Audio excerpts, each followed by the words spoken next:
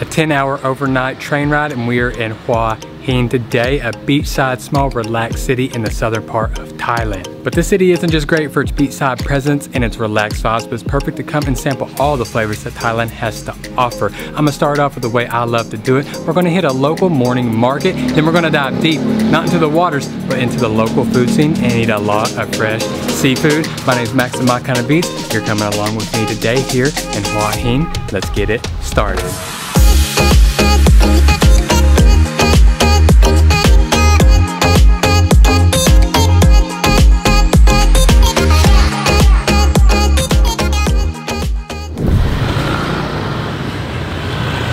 This morning off with some fried goodies. We're gonna start off with a fried little dough stick. An uncle here that's been doing it for a lot of years. And then right across the street, we've actually got a coffee shop that's been open for more than six decades. Let's go ahead and kind of grab everything and sit down.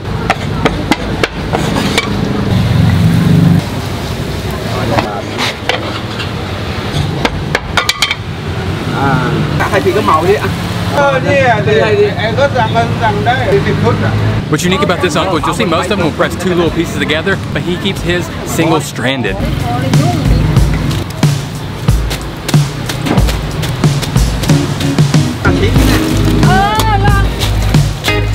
Got my dough fritters, now we just got to cross and get some coffee.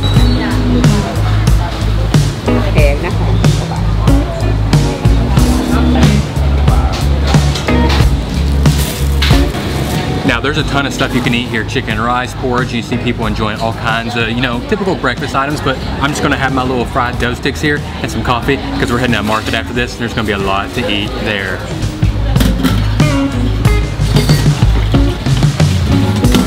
And as you expect from a location that's been here so long, they're doing it the traditional Thai way, which is straining their coffee through a tea bag. We moved locations. Auntie needed me to move, so gotta listen to Auntie. And check it out, got all the fried little dough fritters here just for 10 baht. You can get a good little snack for in the morning. And I got my coffee with the milk, and then looks like you get a little thing of tea as well.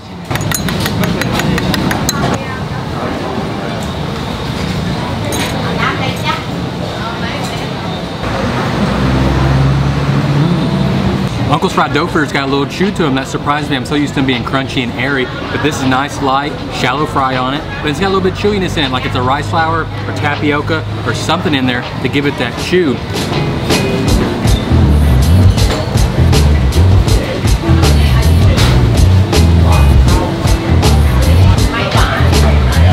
It's more than just coffee and milk in here. There's some type of spices, almost get like a chai tea taste, but with coffee instead. There's something in there. Can't put my finger on it. I should say my tongue, but there's some type of spice in there. This place is filling up quick. It is popular with locals and tourists. So I'm gonna put this coffee down. We'll head to the market. All right, sit that way.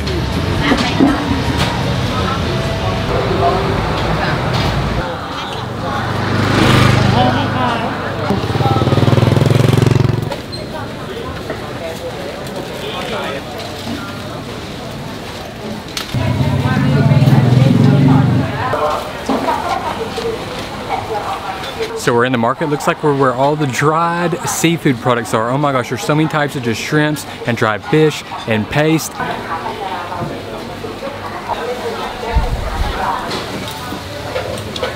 I got a place I've walked by like three or four times and it's been full of people every time. It's finally got a seat open. I'm gonna get in here while I can.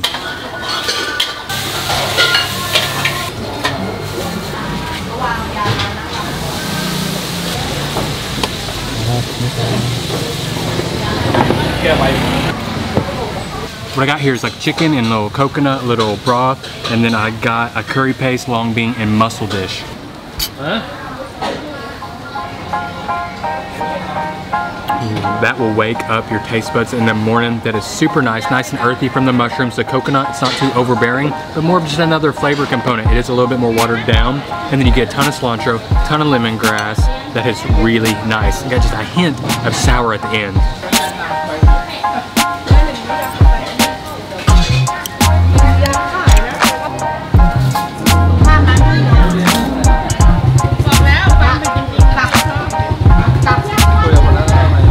The fish sauce and chilies really round that out for me, bring a saltiness, a big kick of heat. Like I said, just loving those mushrooms with earthiness. You get the tomato, gives it like this tangy sweetness. Mm. This rice just soaks in all of that soup broth so you don't leave any flavor behind.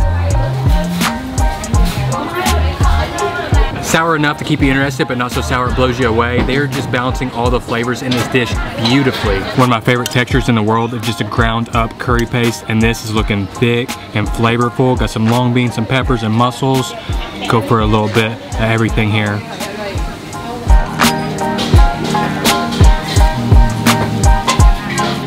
The curry paste is practically creamy. It just almost kind of dissolves in your mouth. And then you get the long beans for the snap. You get a big burst of brininess from the mussel and the peppers and the curry paste. Starting to bring that heat. Feel like my lips are turning red. But I want a little more heat, so I'm afraid to do the fish sauce chili because I'm gonna get too salty. So always come prepared. That's why I love markets. It's so easy to find everything you need. Get a bag of chilies, 10 baht.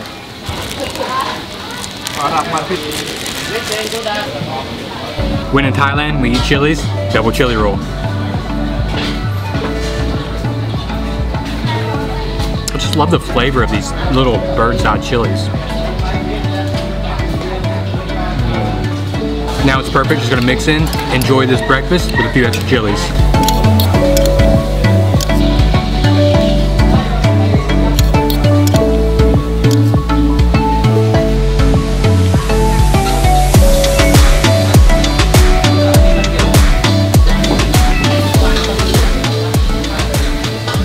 The reason you should take risks too is because I got all that for 50 baht. What is that, $2.50? It's worth just experimenting, trying, getting out there. You never know. That one's really good.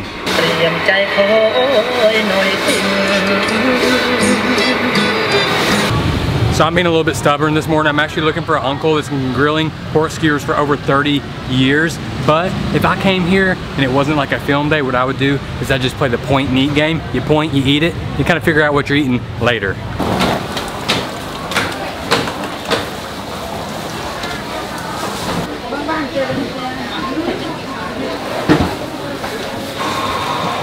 You can tell the blue shell crab is a specialty here. I mean, every fish vendor is selling it.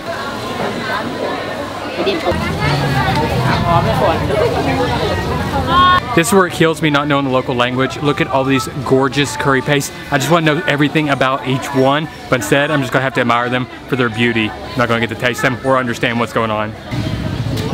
Getting lucky now found khao lam, which is the sticky rice cooked in the bamboo of coconut milk, maybe a little bit of sugar and salt. They're my absolute favorite. This one's massive. Wow, and I hope so, it's pretty expensive.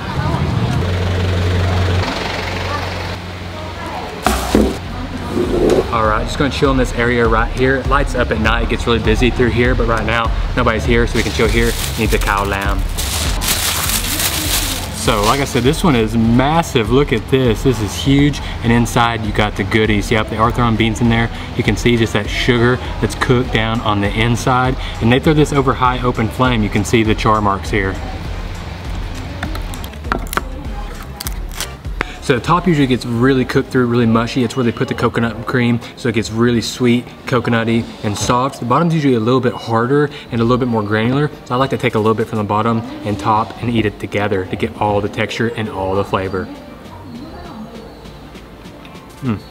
If you are a sticky rice fanatic like myself, this is a cannot miss snack. Open flame heat in the bamboo just gives it this aromatic flavor that I love. And then you get the sticky rice that's ooey, chewy, gooey with the coconut cream, intense flavor, and then also has a little salty, sweet balance that makes it oh so addicting. No sticky rice left behind.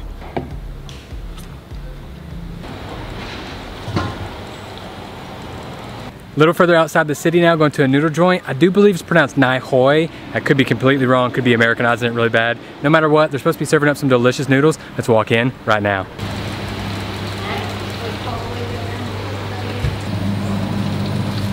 They have a ton of add-ins in here. I see like fish cakes, I see liver, I see pork that's been marinated, I see fish balls, and then back here, they're frying up even more goodies, which I think we can get for our noodles.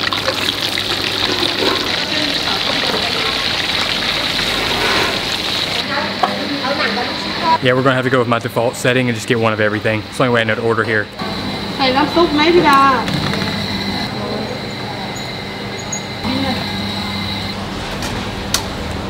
You got three ladies working it like their bosses here. You got one lady doing the toppies, you got the sauce lady, and you got the lady handling the noodles.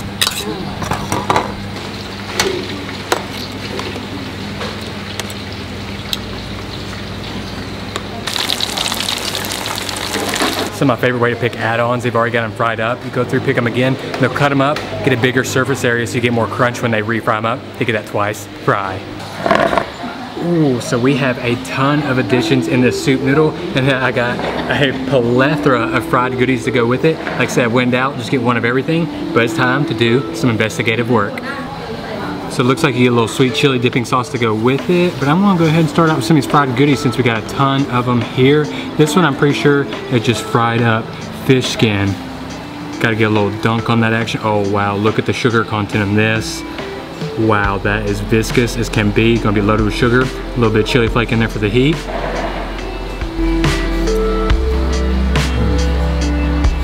That's just a honey thick sweet sauce, but then that heat starts to come. And because that sauce is so viscous and got so much sugar in it, that heat's not leaving your tongue or your mouth. So I hope you can handle it.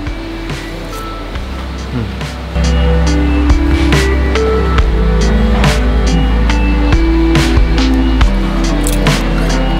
Whoa, did you hear that crunchiness? I was barely holding it and it's just crunching off. Try that again, round two.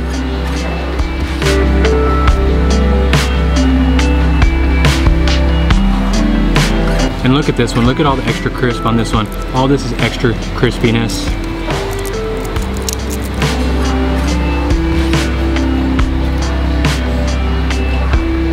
I like to call that a down home bite because those are just some cooked down, super sweet, grow in your garden veggies. Let's get in here and get after the nudes.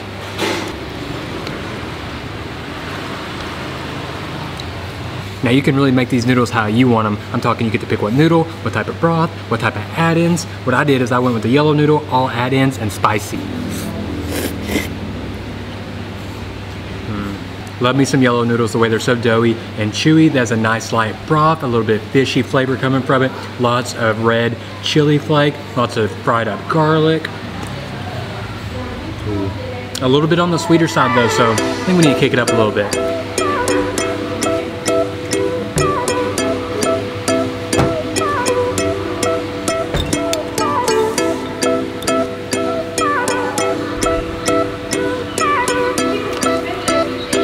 Oh yeah, look at that chili coating those noodles. Oh, I'm getting excited now, y'all. This is what I love to see. Everybody in here is freaking out. They think I'm about to die.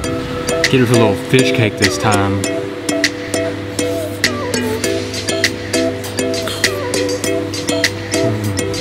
Chase that little broth. Oh yeah, now it's better.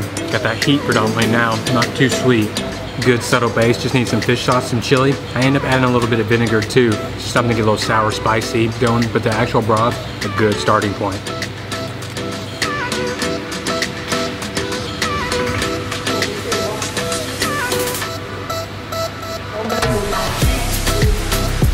Hmm. Always got to slurp up those broths. That's where that chili and fried garlic falls. Those last couple slurps are always the best. That's a good lunch bowl of noodles, nice and light, not too heavy. Now I think I left every fried thing besides the fish paste one, but they're super friendly and I think they're all pretty happy I didn't die when I added all that chili. I think they thought they were gonna rush me to the hospital or something.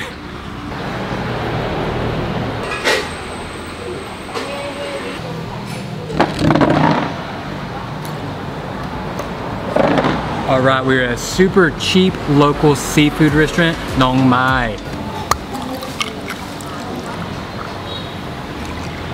All that fried food plus just walking in this heat has made me thirsty. I may have to change this water to Cowboy Cola later though. All right, y'all, didn't take long. Cowboy Cola is here.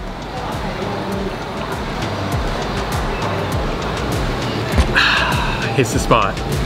First dish is here and we got the stir fried scallops. They put it with a ton of fried garlic and check this out. They got the shallot skins on here as well. I love that. That's just gonna be extra crunch and flavor, not wasting anything here. And then we got the star of the show right here, the Gong Chao Wong, which is gonna be the huge prawns here, chili paste. And what I was reading is actually steamed milk. I don't know, I'm gonna have to try this and figure it out, do a little more investigative work. Is sweet and creamy. I can see where that steamed milk, it's got a very milky, creamy texture. And then that chili oil, boom, it will come at you. Ooh, my.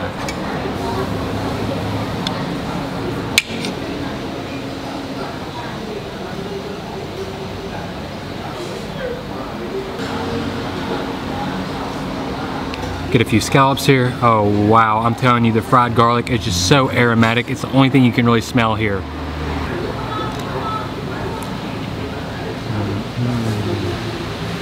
The scallop is just soft, tender, naturally sweet.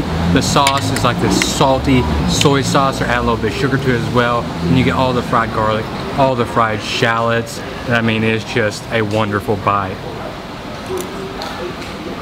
Hmm. The only thing I regret is adding the sweet chili sauce because you really, you just do not need it. Maybe some fresh chilies, but you don't need that sweet chili sauce.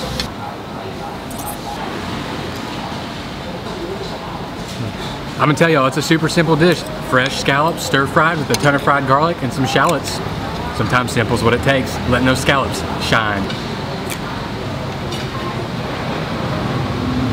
Those scallops give you the life lesson, big things in small packages. I don't think that's how it goes, but anyways, they may not be that big, but they are flavor packed. But we're about to get so dang down and dirty with this dish, it's not even funny. Look at this.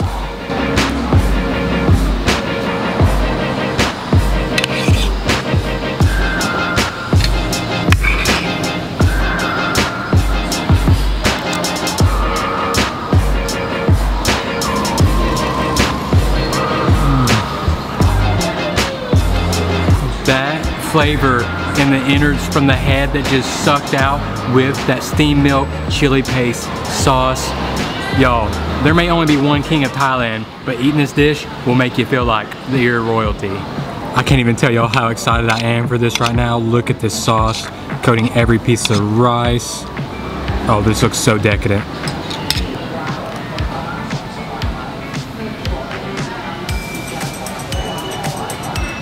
Overly sweet, overly creamy, overly decadent. You don't get this every day. This is a special occasion type of dish.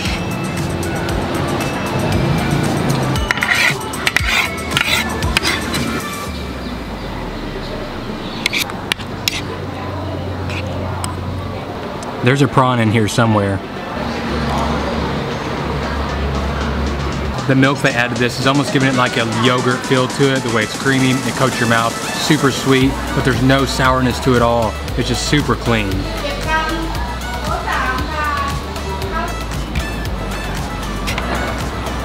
I just had a fabulous idea, y'all. My extra sauce for my gung chao wang, I'm gonna throw my garlic stir fried scallops in it.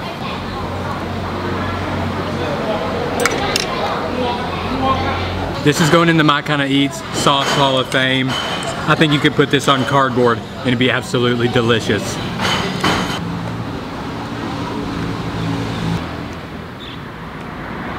Well, I'm full. I got a little bit room left for something sweet. I don't know quite what I want yet, so we'll see what happens. So I got a special spot for y'all. This looks like a souvenir shop on the outside, but only the people in the know know the lady right here is selling up some sweet treats. Now she stops when she sells out, but she's been extremely friendly and she's given me some of her tomorrow stash to try now, since I guess I got here a little too late today. Yeah, mm.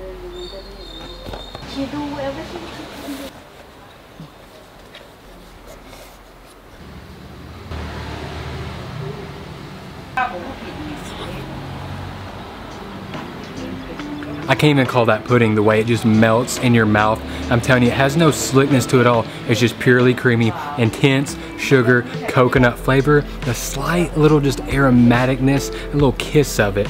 Oh, that is lovely.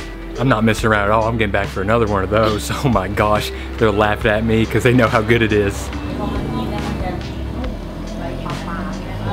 Extremely sweet, barely solidified coconut cream on top with a nice pandan jelly at the bottom. The contrast in textures, you can just taste the love. You can taste the handmade hard work they're putting into these sweets.